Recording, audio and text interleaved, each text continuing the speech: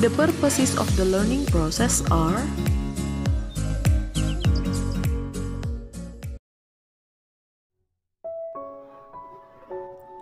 Tongat, do you know BTS?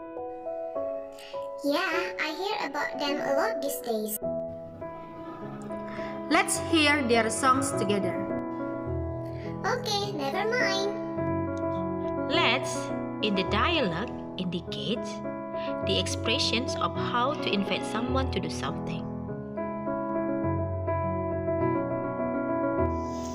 Let's means let us. In bahasa, artinya itu adalah ayo kita atau kata ajakan. The formula is let plus verb one.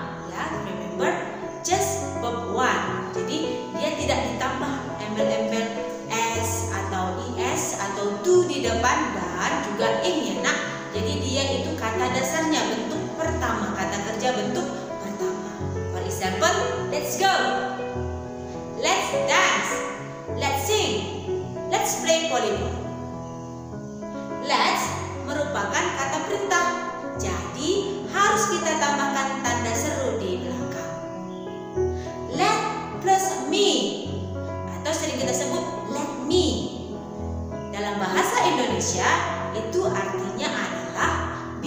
Saya atau izinkan saya. For example, let me introduce myself.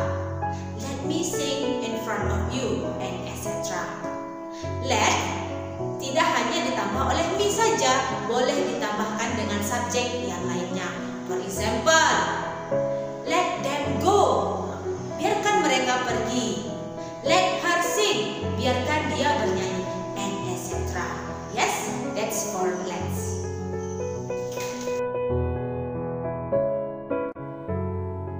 Hi, Jim. Where are you going? Hi, John.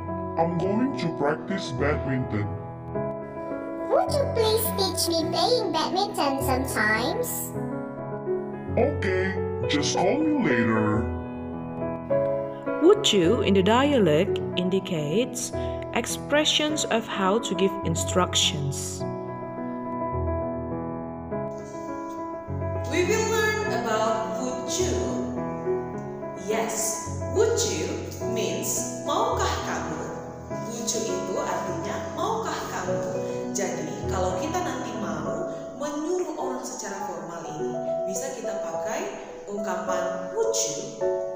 Dan would you itu formulanya, the formula of would you is would you plus verb one. Biar infinitifnya nak tidak pakai to, es or s. Tidak ada itu nanti di belakang kata uh, kerjanya. And then the, another example of would you, kalau kamu mau pakai would you, bisa contohnya seperti ini. Would you mind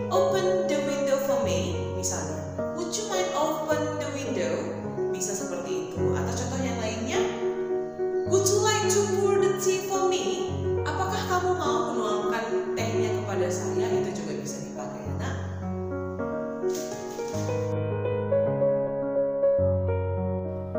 Good morning. Can I help you? Oh, morning. Can you tell me the information about the painting? Sure, I can. Can I, in the dialogue, indicates the expression of how to ask for permission.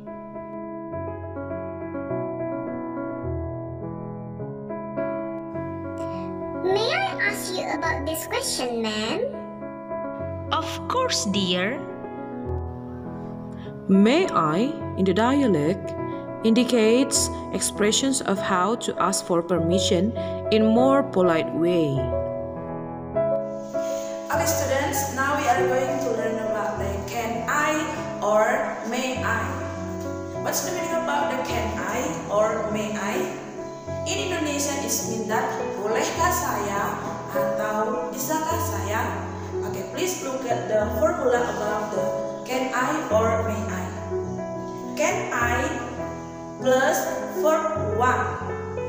Okay, can I or may I plus verb one. Don't forget it.